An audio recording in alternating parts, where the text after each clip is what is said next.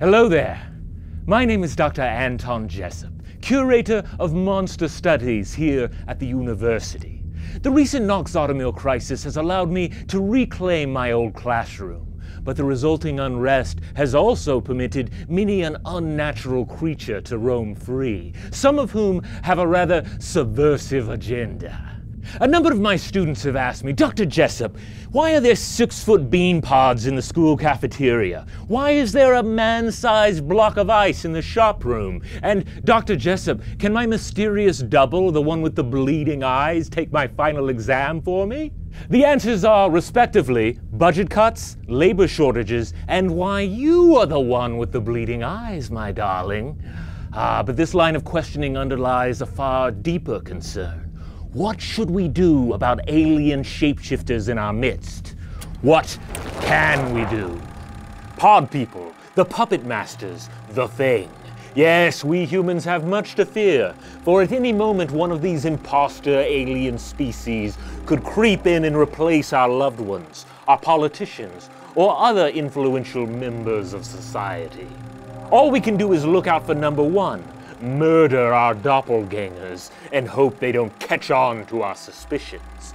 Because surely they'll only masquerade so far as is necessary. Surely, once they've reached the tipping point of infiltration, no longer endangered by human backlash, they'll abandon their false forms and usher us all into labor camps, or simply absorb our delicious biomass into one vast, oozing, orgasmic feast of the new flesh.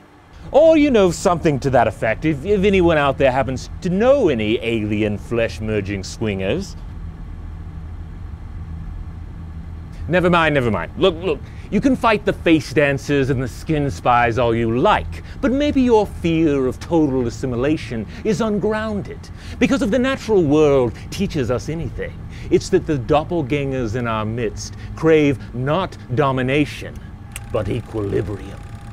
Take the thing, for example. It waged a full blown campaign of absorption at the Antarctic research stations. But perhaps this was only to gain entry into a larger population, a population capable of supporting it and protecting it. In this, it has much in common with the parasitic beetle Paussus favieri.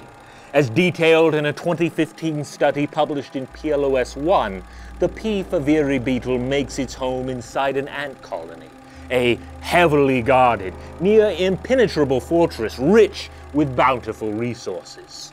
It's a dangerous place for outsiders, but a host of specialized invertebrates, known as myrmecophiles or ant lovers, evolved to trick the ant population into accepting or overlooking their intrusion. P. favieri seems to achieve this through a complex dance of both chemical and auditory mimicry, convincing the ant population that it's one of them, even as it feeds on their larvae and benefits from the colony's protection.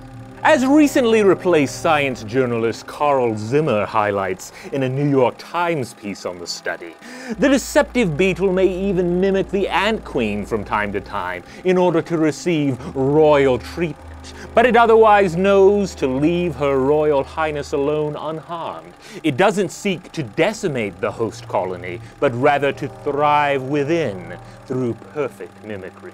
Countless other parasites demonstrate this need for balance within a host community. Cowbirds sneak their eggs into the nests of other bird species, but only turn to violent aggression if their designs are thwarted. Many internal parasites only become dire health hazards when the dynamics of parasitic equilibrium are disrupted. And so I urge you to not only tolerate the alien interlopers in our midst, but to secretly embrace them. Don't ask pesky questions about why their armpits smell like lima beans, or that weird purple growth on their neck, or anything about the ever bleeding depths of their eyes, because they, like you, crave only peace, security, and maybe a little help repairing their crashed warship. But I think that makes them job creators, don't you? All right, class, do we have any questions? Yes. Will this be on the final? Most definitely. Keep watching the skies and in transmission. Welcome back to the program, ladies and gentlemen, here with Dr. Manfred Leach. Can you explain Noxotomil? It was regulated for years by the FDA. Now, all of a sudden, in our water supply? Well, of course, Noxotomil is a drug that does not come without its challenges. Noxotomil offers great rewards, but of course, with great rewards, there are always risks. This is to be expected. But ong ong ong ong ong ong ong ong ong ong ong